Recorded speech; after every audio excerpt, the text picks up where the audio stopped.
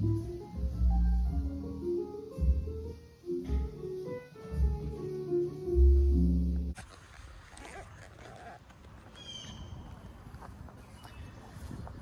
up YouTube? Back with another video. What a fantastic Saturday morning it is. We are blessed to see another order. Today's order for this Saturday is for Bojangles.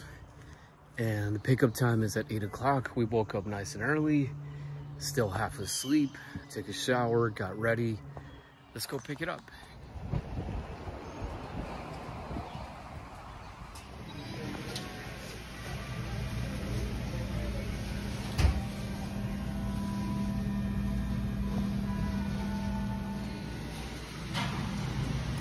This is that for that keg in order? Everything is neatly packed. Let's go deliver it. and as always, once you got everything loaded, you want to swipe to successful and do uh, start to let them know that you